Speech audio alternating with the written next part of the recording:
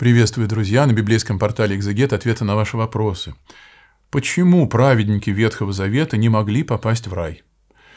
Ну, рай, знаете ли, это все-таки не курортное какое место, куда был бы транспорт и средства, и доберемся. Дело в том, что э, раем или Царством Небесным мы называем Богом для человека предназначенное единство в вечности – которое было потеряно после грехопадения Адама. И до Бога воплощения, до э, спасительного для нас служения Господу Иисусу Христу, а служение это крестное, с последующим воскресением, вознесением, не с посланием Духа Святого от Отца исходящего, устроением церкви, э, до всего этого последования – промыслительных и спасительных божественных действий в отношении человечества э, невозможно было и надеяться умирающим людям, даже если они очень хотели быть с Богом после своей временной жизни, оказаться в этом единстве с Богом. Только, говорит Христос в своей беседе с Никодимом, в ночной тайной беседе,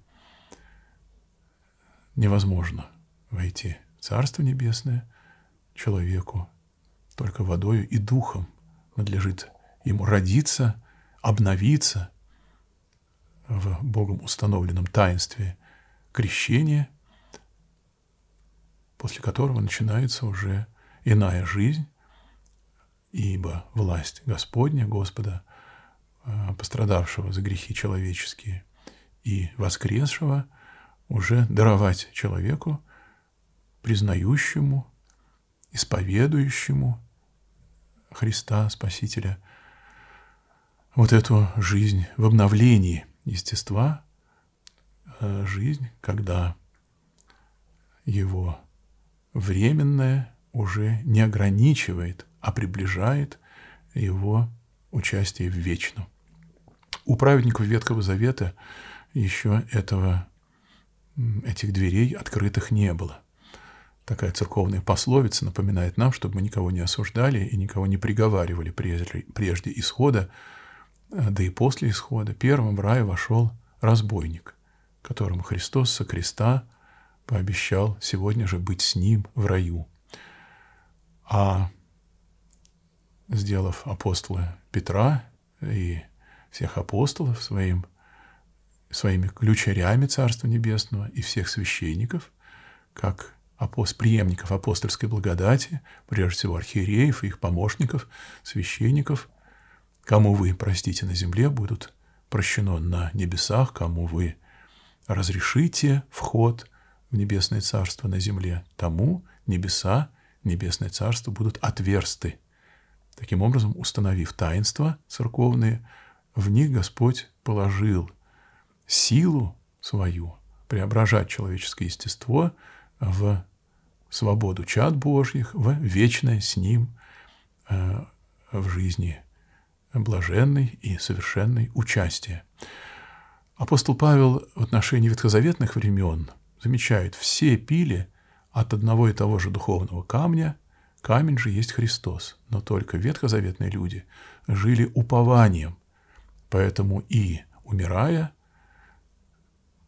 снисходя в Шеол таинственный, или, как говорит Писание, приложившись к отцам, они, тем не менее, не умирали э, так, как представляет это атеист, не растворялись как пар. Христос, указывая иудеям, неверующим в воскресенье, напоминает, как звучало откровение Божье Моисею. «Аз есть Бог Авраама, и Бог Исаака, и Бог Иакова» а Бог же наш не есть Бог мертвых, но Бог живых. И в притче о богатом и нищем Лазаре э, Господь описывает бытие праведников после смерти как почивание на лоне Авраамовом.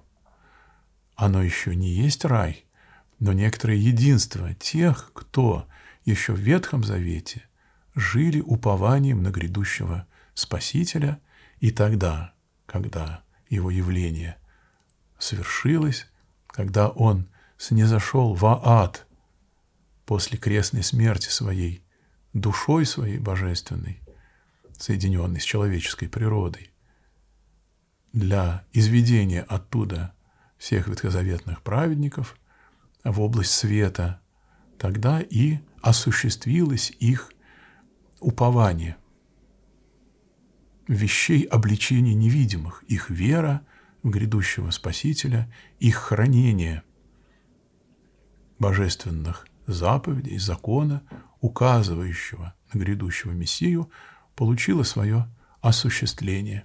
Так что мы э, сейчас в жизни новозаветной церкви наряду с новозаветными святыми, праведниками, поминаем и ветхозаветных, которые именуются святителем Феофаном Затворником, светлейшими личностями, ибо посреди мрака язычества провидели грядущего Спасителя, им жили и во время земной жизни, и э, на него уповали и по исходе своем, и сподобились, конечно же, от Господа того величайшего утешения, которого и мы с вами чаем вечного с Ним во Царстве Небесном пребывания.